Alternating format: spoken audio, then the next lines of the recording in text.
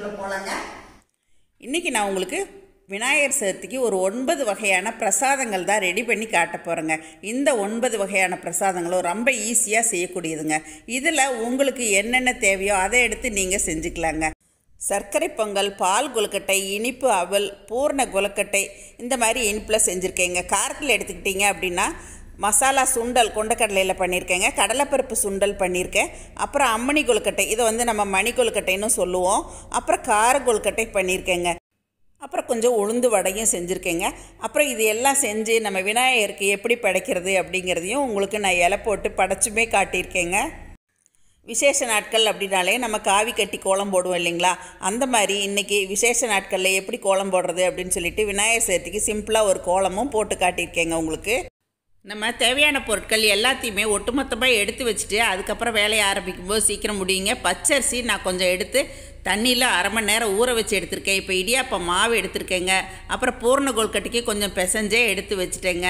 அப்புறம் வந்து நம்ம உளுந்து வடக்கி உளுந்து ஊற வச்சு வச்சுருக்கேன். கடலைப்பருப்பு சுண்டலுக்கு கடலைப்பருப்பு ஊற வச்சு வச்சுருக்கேங்க. அப்போ அதே மாதிரி சுண்டலுக்கும் நான் வந்து வேக வச்சே எடுத்து வச்சுட்டேன்.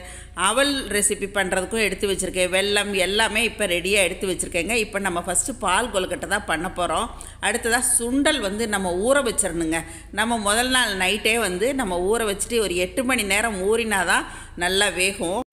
இப்போ எல்லா வகையான கொழுக்கட்டைக்குமே எங்களுடைய சரசு சுட் ப்ராடக்ட்ஸ் இடியாப்ப மாவு எடுத்திருக்கேங்க. தேவைக்கு வெல்லம் எடுத்திருக்கேன். அப்புறம் பால் கொழுக்கட்டைக்கு ஒரு மூடி தேங்காயை துருவிட்டு ஏலக்காய் கொஞ்சம் சேர்த்து வச்சுருக்கேங்க. இப்போ ஒரு பாத்திரத்தில் இந்த இடியாப்ப மாவை சேர்த்துடலாங்க கொஞ்சம் வெந்நீர் விட்டுக்கலாம் இதில். கை பொறுக்கிற அளவுக்கு சூடு இருந்தால் போதும். இப்போ இதை நம்ம நல்லா பிசைஞ்சு எடுத்துக்கணுங்க. பாருங்கள் கொஞ்சம் ஆறினதுக்கப்புறமா இந்த மாதிரி கையில் பிசைஞ்சுக்குங்க. இந்த அளவுக்கு மாவு வந்து பக்குவமாக இருக்கணும். நம்ம வந்து சாதாரணமாக கையில் இந்த மாதிரி உருட்டியும் போடலாம். நீலவாக்கில் உருட்டியும் போடலாம். நம்ம வந்து முறுக்கச்சிலையும் பிழிஞ்சு விடலாங்க. நான் இன்றைக்கி முறுக்கச்சில் தான் பிழிஞ்சு விட போகிறேன் பாருங்கள் வெந்நீர் நல்லா கொதிச்சிட்ருக்கு. கொதிச்சிட்ருக்க வெந்நீரில் நம்ம முறுக்கச்சில் போட்டு இந்த மாதிரி நம்ம பிழிஞ்சு விட்டோம் அப்படின்னா கொஞ்சம் எலும்பி வரும். அடுத்த செட்டு நம்ம பிழிஞ்சிடலாங்க நம்ம பிழிஞ்சு விட்டது கொஞ்சம் மேலே எழும்பி வந்ததுக்கப்புறமா தான் இந்த மாதிரி கரண்டி போடணுங்க. ஒரு அஞ்சே நிமிஷத்தில் டக்குன்னு ஈஸியாக வெந்துருங்க. அதுக்கப்புறம் நம்ம தேவையான அளவுக்கு வெல்லம் சேர்த்துக்கலாம். நான் இப்போ ஒரு கப் மாவுக்கு ஒன்னேகால் கப் அளவுக்கு வெல்லம் சேர்த்துருக்கேங்க. அப்புறம் கொஞ்சம் மாவு நம்ம பிழிஞ்சிட்டு அந்த உலக்கில் இருக்கும் இல்லைங்களா அதை வந்து கரைச்சி எடுத்து வச்சுக்கணும்.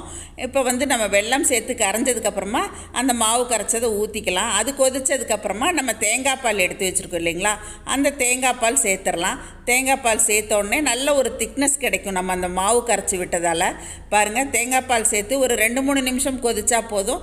நம்மளோட பால் கொழுக்கட்டை இப்போ ரெடி ஆயிடுச்சுங்க. அடுத்ததாக நம்ம இப்போ வந்து வடக்கி ஊற வச்சிடலாம் ஒரு பங்கு உளுந்துக்கு கால் பங்கு நான் வந்து பச்சரிசி சேர்த்து ஊற வைக்கிறேங்க. பச்சரிசி சேர்த்தும் போது நல்ல மொறுமொறுப்பு கொடுக்கும். இப்போ நான் இதை ஊற வச்சு ஒரு ரெண்டு மூணு மணி நேரம் வச்சுட போகிறேன் அதை வந்து நான் ஃப்ரிட்ஜில் வைக்க போகிறேன் ஃப்ரிட்ஜில் வைக்கும்போது மாவு நல்லா ஆகுங்க. அப்புறமா இப்போ வந்து பொங்கலுக்கு பச்சரிசி ரெடியாக இருக்குது அதை களைஞ்சிட்டு இப்போ அடுப்பில் ஏற்றிட்டேங்க வெயிட் போட்டு நல்லா வந்து ஒரு மூணு நாலு சவுண்டு வச்சு நான் வேக வச்சு எடுத்துக்கிட்டேங்க. வேக வச்சு எடுத்ததுக்கப்புறமா நம்ம வெல்லம் சேர்க்கறதுக்கு முன்னாடி நல்லா இந்த மாதிரி கரண்டியால் மசிச்சு விட்டுறணும். அதுக்கப்புறமா தான் நம்ம வெல்லம் சேர்க்கணுங்க. அதே மாதிரி ஒரு பங்குக்கு ஒன்றரை பங்கு வெல்லம் சேர்த்துருக்கேன். அதாவது ஒரு பங்கு அரிசிக்கு ஒன்றரை பங்கு வெல்லம் சேர்த்துருக்கேன். உங்களுக்கு இன்னும் தித்திப்பு வேணும்னா இன்னும் கொஞ்சம் ஜாஸ்தியாக சேர்த்துக்கலாம். கொஞ்சம் நெய் விட்டு நல்லா பெரட்டி விட்டு ஒரு அஞ்சு நிமிஷம் சிம்லேயே போட்டுங்க. அதுக்கப்புறம் ஒரு வானலியில் முந்திரி திராட்சை. இன்றைக்கி நம்ம தேங்காய் பொங்கல் செய்ய போகிறதால நான் வந்து தேங்காயும் சேர்த்துருக்கேங்க. வெறும் பருப்பெல்லாம் போடாமல் வெறும் தேங்காய் பொங்கல் தான் செய்கிறேன். இதையெல்லாம் வறுத்துட்டு நம்ம பொங்கலில் சேர்த்துட்டு இப்போ கொஞ்சம் ஏலக்காய் தூள் சேர்த்துக்கலாங்க. மறுபடியும் கொஞ்சம் தேவைக்கு நெய் சேர்த்துக்கலாம். நெய் போட்ட வரைக்கும் ரொம்ப நல்லா இருக்குங்க. நம்ம நெய்யில் தான் முந்திரி திராட்சை வறுத்துருக்கோம். இருந்தாலும் நம்ம ஃபைனலாகவும் கொஞ்சம் நெய் விட்டுக்கிட்டோம் அப்படின்னா பொங்கல் நல்ல மனமாக சுவையாக இருக்குங்க. இப்போ நம்மளோட தேங்காய் பொங்கல் ரெடி ஆயிடுச்சுங்க. அடுத்ததாக நம்ம கார கொழுக்கட்டைக்கும் மணி கொழுக்கட்டைக்கும் இப்போ நம்ம தேவையான அளவுக்கு எங்களோட இடியாப்பம் மாவு தான் நான் எடுத்திருக்கேங்க.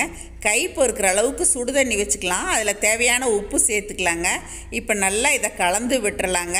கொஞ்சம் ஆறினதுக்கப்புறமா நல்லா நம்ம வந்து இந்த மாதிரி கையிலையே பிசைஞ்சுக்கலாம். பாருங்க இப்போ வந்து ஒரு முறுக்கு மாவு பதத்தில் இருக்கும்.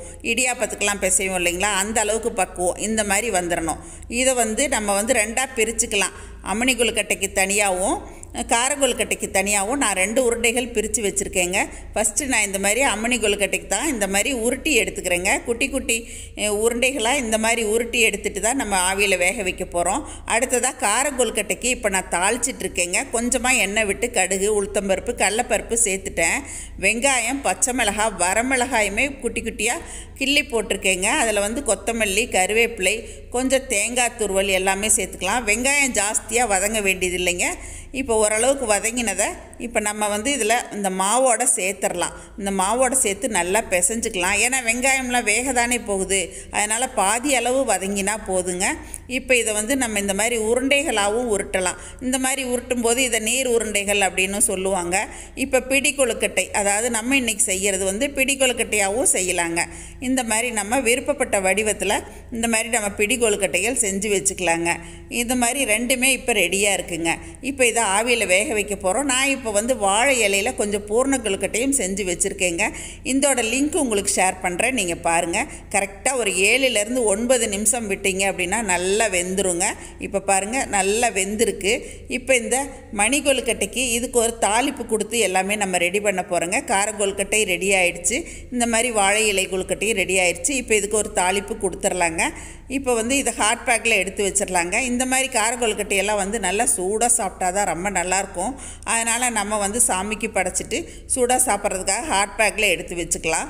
அடுத்ததாக பாருங்கள் வாழை இலையில் செஞ்சேன்னு சொன்னேன் இல்லைங்களா? கொஞ்சம் கூட மாவு வந்து வெளியில் வரவே வராது. இது செய்கிறது ரொம்ப ரொம்ப ஈஸி இப்போ சமீபத்தில் உங்களுக்கு நான் பூவரச இலை கொழுக்கட்டை செஞ்சு காட்டினேன். அதே மாதிரி தாங்க இதையுமே செய்யணும். பூர்ணம் நம்ம மாற்றி மாற்றி எது வேணால் செஞ்சுக்கலாம். இப்போ நம்ம அம்மணி கொழுக்கட்டை செய்கிறதுக்கு தேங்காய் துருவல் ரெண்டு டேபிள் ஸ்பூன் எடுத்திருக்கேங்க. ஒரே ஒரு பச்சை மிளகாய் எடுத்திருக்கேன். கொஞ்சம் கொத்தமல்லி எல்லாம் எடுத்திருக்கேங்க. இதை வந்து நம்ம தண்ணி சேர்க்காம மிக்ஸி ஜாரில் சேர்த்து ஒரு சுற்றி சுற்றி எடுத்துக்கணுங்க. பாருங்கள் இந்த மாதிரி நல்லா ட்ரையாக இருக்கணும். தண்ணி சேர்த்துறாதீங்க. இப்போ நம்ம இதுக்கு ஒரு தாளிப்பு கொடுத்துர்லாங்க ஒரு வானொலியில் கொஞ்சமாக எண்ணெய் விட்டுக்குங்க. இதுக்கெல்லாம் கொஞ்சம் எண்ணெய் இருந்தால் போதும். கடுகு பொரியிற அளவுக்கு இருந்தால் போதும். ஒரு டீஸ்பூன் உளுத்தம்பருப்பு சேர்த்துக்கிட்டேங்க. இப்போ இந்த உளுத்தம்பருப்பு செவந்து வந்ததுக்கப்புறமா கருவேப்பிலை சேர்த்துக்கிட்டேன். இப்போ நம்ம அரைச்சி வச்சுருக்கோம் இல்லைங்களா? அந்த தேங்காய் கலவையை சேர்த்துட்டு சும்மா ஒரு சிட்டிகை மட்டும் உப்பு சேர்த்துக்குங்க. ஏன்னா நம்ம வந்து கொல்கட்டையில் உப்பு சேர்த்துருக்கோம். இந்த கலவையில் உப்பு பிடிக்கிறதுக்காக தான் உப்பு சேர்த்துறோம். இப்போ நம்ம கொல்கட்டைகளையும் இதில் சேர்த்தாச்சுங்க. சேர்த்துட்டு ஒரு ரெண்டே ரெண்டு நிமிஷம் நல்லா இந்த மாதிரி பெரட்டி விட்டு எடுத்துட்டிங்கன்னா நம்மளோட அம்மணி கொல்கட்டை ரெடிங்க இப்போ நான் ஓவர் நைட் ஊற வச்சுருந்த சுண்டலை வந்து நல்லா களைஞ்சிட்டேங்க. இப்போ இதுக்கு தேவையான உப்பு இதிலேயே சேர்த்துக்கலாம். சேர்த்துட்டு தண்ணி ஊற்றிட்டு நம்ம வேக வச்சு எடுத்துக்கலாங்க. நான் ஒரு மூணு விசில் தான் வச்சு எடுத்தேன். பாருங்கள் அதுலேயே நல்லா வந்து மாவாக வெந்துருச்சு. இப்போ இதை நம்ம தாளிச்சிடலாங்க தண்ணியை நல்லா வடிச்சிட்டு இப்போ நான் தாளிக்கிறேங்க. தாளிக்கிறதுக்கு தேவையான எண்ணெய் விட்டுக்கலாங்க. இந்த மாதிரி சுண்டல்லாம் செய்யும்போது எண்ணெய் கொஞ்சம் குறைவாகவே விட்டுக்கலாங்க. கடுகு உளுத்தம்பருப்பு சேர்த்துக்கலாம். கடலைப்பருப்பு சேர்த்துக்கலாம். நான் இன்றைக்கி மசாலா சுண்டல் தான் பண்ண போகிறேங்க அதனால் வந்து பெரிய வெங்காயம் மசாலா சுண்டலுக்கு கொஞ்சம் அதிகமாக சேர்த்தா ரொம்ப நல்லாயிருக்கும். நீங்கள் சாமிக்கு படைக்கும் போதெல்லாம் வெங்காயம் சேர்க்க மாட்டேன் அப்படின்னா நீங்கள் வெங்காயத்தை ஸ்கிப் பண்ணிவிடுங்க வெங்காயம் போடாமையும் செய்யலாம். கொஞ்சம் கருவேப்பிலையும் இப்போ சேர்த்துட்டேங்க. கொஞ்சமாக மஞ்சள் தூள் சேர்த்துக்கிட்டேன். மல்லித்தூள் ஒரு டீஸ்பூன் சேர்த்துக்கிட்டேங்க. காரத்துக்கு தேவையான அளவு தனி மிளகாத்தூளும் கறிக்குழம்பு தூளும் சேர்த்துக்கிட்டேங்க. இஞ்சி பூண்டு பேஸ்ட் அரை டீஸ்பூன் சேர்த்துட்டேங்க. கொஞ்சம் கொத்தமல்லி இலை தூவிட்டு இதை ஒரு நிமிஷம் நல்லா பெரட்டி விட்டுட்டு கொஞ்சம் சோம்பு தூள் சேர்த்துக்கிட்டேங்க. இதை நல்லா பெரட்டி விட்டுட்டு கொஞ்சமாக உப்பு சேர்த்துக்கலாம். இந்த மசாலில் பிடிக்கிறதுக்கு மட்டும் உப்பு சேர்த்துட்டு கொஞ்சம் இதில் தண்ணி கலந்துடலாங்க தண்ணி கலந்தாதான் இந்த மாதிரி சுண்டல் வந்து இதில் நல்லா உப்பு காரம் பிடிச்சி நல்லாயிருக்கும். இது ஒரு ரெண்டு நிமிஷம் போல் இந்த மாதிரி நல்லா கொஞ்சம் கெட்டி பதத்தில் வந்ததுக்கப்புறமா நம்ம உப்பு சேர்த்து வேக வச்சுருக்க சுண்டல் இதில் சேர்த்துடலாங்க சுண்டல் சேர்த்ததுக்கப்புறமா நல்லா பெரட்டி விட்டுக்கணுங்க. நல்லா பெரட்டி விட்டு அந்த உப்பு காரம் எல்லாமே வந்து சுண்டலில் சேர்ந்து வர்ற அளவுக்கு ஒரு அஞ்சு நிமிஷம் சிம்மில் போட்டுட்டு அதுக்கப்புறமா கொத்தமல்லி இலை தூவி தேங்காய் துருவல் தூவிட்டு இறக்கிட்டிங்கன்னா நம்மளோட மசாலா சுண்டல் ரெடிங்க. நம்ம சாதாரண சுண்டலும் செய்கிறதுக்கு இந்த மாதிரி மசாலா சுண்டலும் ஒரு நாளைக்கு செய்யலாங்க. இப்போ நம்ம ஊற வச்சுருந்த உளுத்தம்பருப்பு நான் ஃப்ரிட்ஜுக்குள்ளேருந்து வெளியே எடுத்துட்டேங்க. நல்லா ஊறிடுச்சு. அதை கிரைண்டரில் சேர்க்க போகிறேன் இப்போ கடலைப்பருப்பு நல்லா ஊறிடுச்சுங்க. ஒரு மணி நேரம் ஊற வச்சுக்கிட்டேன். கொஞ்சம் உப்பு சேர்த்துக்கிட்டேன். மஞ்சள் தூள் சேர்த்துக்கிட்டேன். இப்போ இதை நான் வந்து ஒரே விசில் தான் வச்சு எடுக்க போகிறேங்க ஏன்னா ஒரு மணி நேரம் ஊற வச்சுருக்கோம் இல்லைங்களா? அதனால் ஒரு விசில்லையே இந்த மாதிரி மலர்ந்த மாதிரி வெந்துடும் அதனால் நீங்கள் வந்து குழைய விட்டுறாதீங்க. இந்த மாதிரி வேக வச்சு எடுத்துக்கோங்க. கொஞ்சமாக எண்ணெய் விட்டு கடுகு உளுத்தம்பருப்பு இந்த மாதிரி கருவேப்பிலை கொஞ்சம் பச்சை மிளகா சேர்த்துட்டு பெருங்காயத்தூள் சேர்த்துக்கிட்டேங்க கடலைப்பருப்பு சுண்டலுக்கு. இப்போ வேக வச்ச கடலைப்பருப்பையும் இதில் சேர்த்துக்கலாம். இப்போ கொஞ்சம் கொத்தமல்லி இலை சேர்த்துட்டு தேங்காய் துருவலும் சேர்த்துட்டேங்க. இதை நல்லா பெரட்டி விட்டுறணுங்க. அப்புறம் இப்போ கொஞ்சமாக உப்பு சேர்த்துக்கலாம். நம்ம வேகும்போது உப்பு சேர்த்துருக்கோம். இருந்தாலும் இதில் நல்லா பிடிக்கணும் அப்படிங்கிறதுக்காக ரெண்டு சிட்டிகை போல் உப்பு சேர்த்துக்குங்க. உப்பு சேர்த்து ஒரு ரெண்டு நிமிஷம் நல்லா பெரட்டி விட்டு இறக்கிட்டீங்க அப்படின்னா நம்மளோட கடலைப்பருப்பு சுண்டல் சட்டுன்னு ஆயிருங்க. இப்போ அடுத்ததாக இனிப்பு அவல் செய்கிறதுக்கு நான் கொஞ்சம் பாலை இந்த மாதிரி ஒரு கப்பில் எடுத்துகிட்டு நல்லா கொதிக்க வச்சுட்டேங்க. அந்த கொதித்த பாலில் இப்போ நான் வந்து வெள்ளை அவல் சேர்க்குறேன். வெள்ளை அவலை கொஞ்சம் சுத்தம் பண்ணி நல்லா சேர்த்துக்கோங்க. அப்போ தான் அதில் தூசி இல்லாமல் இருக்கும். இப்போ அதை வந்து நல்லா கலந்து விட்டுட்டு ஒரு பத்து நிமிஷம் மூடி போட்டுடலாங்க கொஞ்சம் பத்து நிமிஷத்துலேயே பாருங்கள் நல்லா அந்த பாலை எல்லாம் உறிஞ்சிரும். உங்களுக்கு பால் வேண்டாம்னா நீங்கள் வெந்நீரில் கூட சேர்த்துக்கலாம் இந்த மாதிரி. இப்போ இதுக்கு தேவையான நாட்டு சர்க்கரை சேர்த்துக்கிட்டேன். கொஞ்சம் தேங்காய் துருவல் சேர்த்துக்கிட்டேங்க. இதில் நீங்கள் இனிப்புக்கு சர்க்கரை சேர்க்குறதா இருந்தாலும் சேர்த்துக்கலாம். கூடவே நட்ஸு கொஞ்சம் நெய் விட்டுக்கலாம்.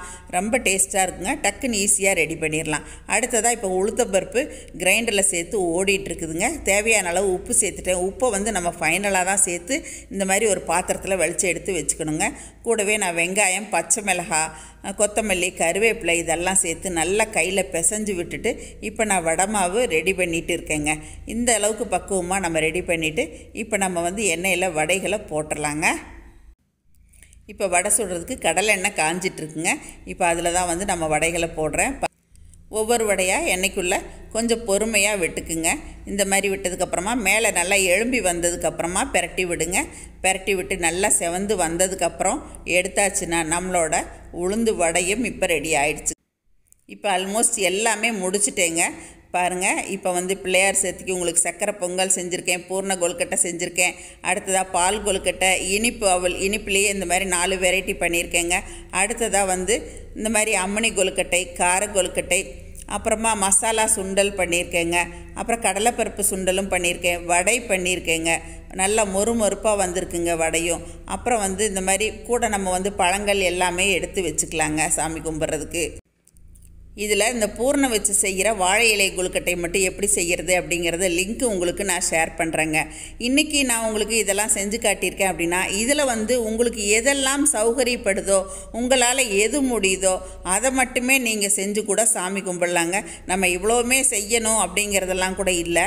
இப்போ எப்படி இருந்தாலும் நம்ம வந்து பொறி வைக்கணுங்க. அந்த பொறிக்கு வந்து மேலால் கொஞ்சம் அவல் வச்சுட்டு கொஞ்சம் பொட்டுக்கடலை தூவிட்டு அதுக்கப்புறமா வெள்ளம் மேலே வச்சு சாமி கும்பிட்றது நல்லதுன்னு சொல்லுவாங்க. கண்டிப்பாக நீங்களும் அதை செய்யுங்க. இன்றைக்கி நான் செஞ்சு காட்டின இந்த பிள்ளையார் சதுர்த்தி பிரசாதங்கள் உங்கள் எல்லாருக்குமே ரொம்ப பிடிச்சிருக்குன்னு நினைக்கிறேங்க. கண்டிப்பாக நீங்களும் இந்த மாதிரியெல்லாம் ட்ரை பண்ணி பாருங்கள் பிள்ளையார் சதுர்த்தி மட்டும் இல்லைங்க மற்ற நாட்கள்லையுமே இந்த மாதிரி எல்லாம் கொழுக்கட்டை செஞ்சு நம்ம ஆரோக்கியமாக எடுத்துக்கலாங்க. இந்த கொழுக்கட்டையெல்லாம் பார்த்தீங்களா எவ்வளோ ஈஸியாக நான் உங்களுக்கு பண்ணி காட்டியிருக்கேன். இந்த அம்மணி கொழுக்கட்டை வந்து நம்ம இன்னுமே வித்தியாச வித்தியாசமாக நிறைய வெரைட்டியில் செய்யலாங்க. நான் உங்களுக்கு அப்பப்போ இந்த அம்மணி கொழுக்கட்டையில் என்னென்னலாம் பண்ணலாம் அப்படிங்கிறதையும் உங்களுக்கு நான் செஞ்சு காட்டுறேங்க. நான் செஞ்சு காட்டினேன் இந்த பிள்ளையார் சேர்த்தி பிரசாதங்கள் உங்கள் எல்லாருக்கும் ரொம்ப பிடிச்சிருக்குன்னு நினைக்கிறேங்க. எப்பயும் போல் உங்களோட ஃபீட்பேக் சொல்லுங்கள் ஷேர் பண்ணுங்கள் பிடிச்சிருந்தா லைக் பண்ணி சப்ஸ்கிரைப் பண்ணிக்கங்க. தேங்க்யூ சரசு சமையல் பாருங்கள் சமையல் நல்லா பண்ணுங்கள் சரசூஸ் ஃபுட் ப்ராடக்ட்ஸ் பொடி வகைகள் தேவைப்படுறவங்க இங்கே கொடுத்துருக்க வாட்ஸ்அப் நம்பரில் காலை பத்து மணி முதல் இரவு ஏழு மணி வரைக்கும் எங்களை காண்டாக்ட் பண்ணி வாங்கிக்கலாங்க. தேங்க்யூ